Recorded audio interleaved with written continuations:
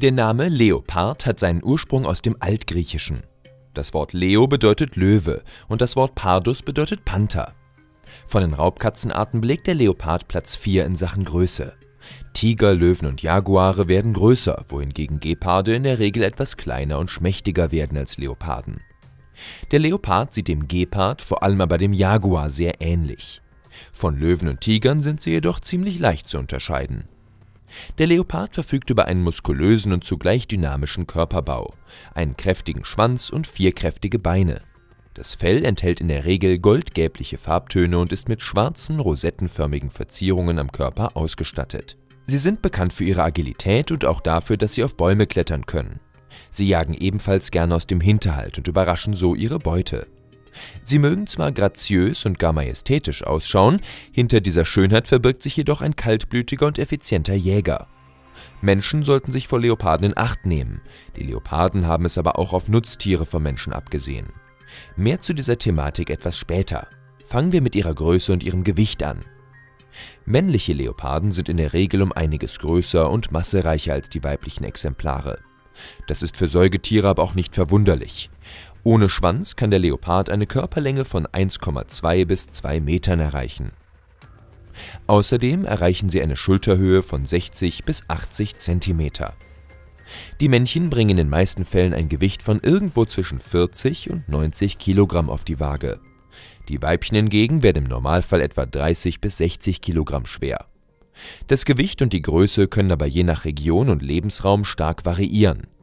In Südafrika beispielsweise werden nur wenige Exemplare über 40 Kilogramm schwer. Nun stellt sich die Frage, wo man diese faszinierenden Tiere in freier Wildbahn überall finden kann. In den letzten Jahrzehnten und Jahrhunderten hat sich ihr Lebensraum immer weiter eingeschränkt. Heute beheimaten sie in der Wildnis zwei Kontinente, und zwar in Afrika und Asien. Die Art hat sich im Verlauf der Zeit an verschiedene Lebensräume angepasst. Man findet sie unter anderem in Lebensräumen wie Regenwäldern, Wäldern, Savannen, Einöden, hohen Bergregionen, Sumpfgegenden etc. Komplette Wüstengegenden meidet der Leopard jedoch. Daher findet man ihn beispielsweise nicht in der Sahara. Allein in Afrika beheimatet die Art 35 verschiedene Länder. Aber auch in Asien ist der Leopard weit verbreitet. In Asien beheimaten sie beispielsweise Teile der Türkei, der arabischen Halbinsel, des Himalayas, China, Indien, Sri Lanka und sogar einige Teile von Russland. Je nach Region unterscheiden sich die schwarzen und rosettenförmigen Färbungen leicht. Afrikanische Leoparden beispielsweise verfügen über eine eher rundliche Rosettenfärbung, wohingegen die asiatischen eher die viereckige aufweisen Generell ist das Fell von Leoparden goldgelblich gefärbt, allerdings ist dies nicht immer der Fall. Es gibt nämlich auch einige Leoparden, welche sogar ganz schwarz gefärbt sind. Man nennt ein solches Tier schwarzer Panther.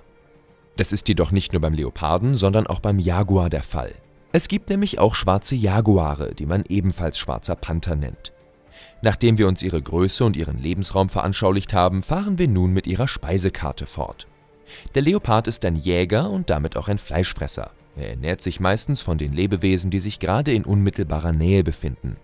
Die Speisekarte ist sehr vielseitig und beinhaltet unter anderem Antilopen, Paviane, Böcke, Hasen, Gazellen, Vögel, Zebras und viele mehr. Er frisst sowohl kleinere als auch größere Beutetiere.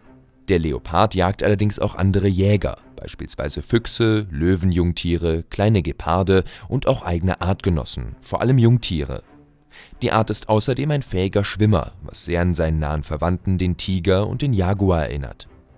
Die Jagdstrategie des Leoparden ist im Grunde recht simpel. Die meiste Zeit wird aus dem Hinterhalt bzw. mit einer Schleichtaktik angegriffen. Bei so einem Überraschungsangriff erreicht der Leopard innerhalb von nur wenigen Augenblicken eine Geschwindigkeit von 60 km/h. Dank seiner scharfen Krallen kann sich das Tier auch mit Leichtigkeit an seine Beute klammern und sie festhalten.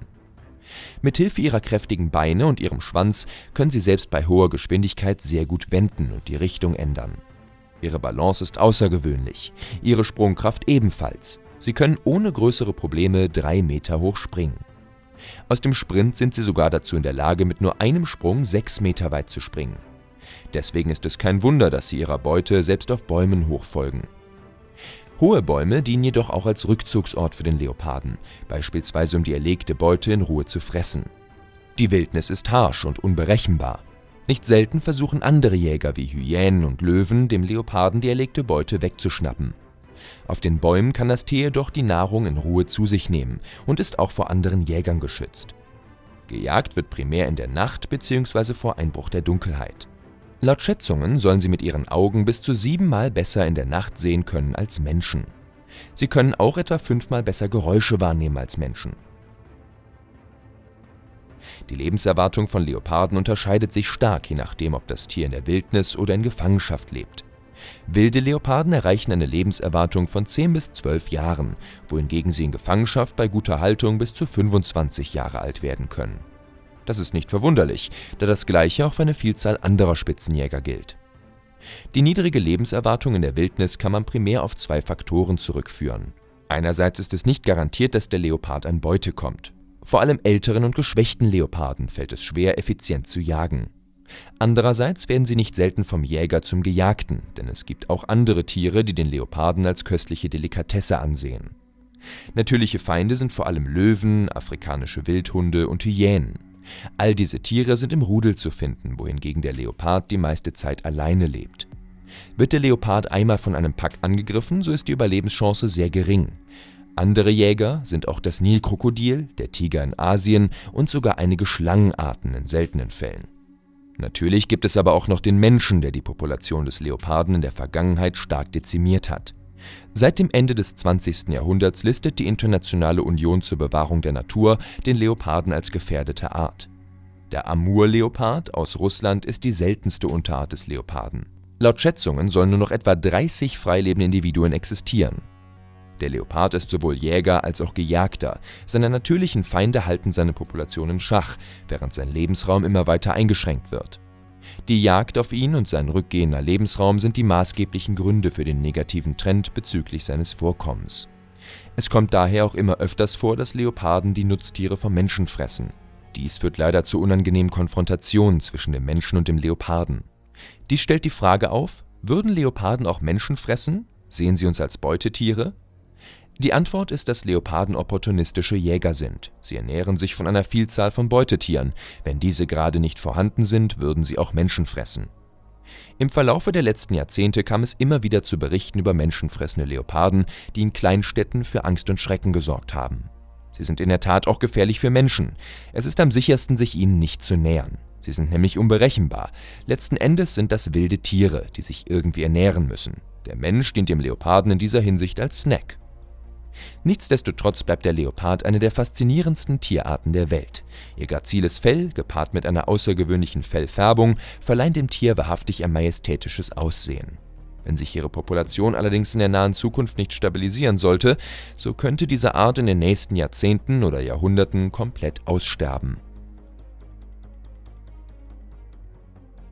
Solltest du an weiteren spannenden Videos zu solch faszinierenden Tieren interessiert sein, so kannst du hier die komplette Playlist aufrufen. Videoideen sind in den Kommentaren auch willkommen. Du kannst auch gerne diesen Kanal abonnieren, falls du in Zukunft nichts mehr verpassen möchtest.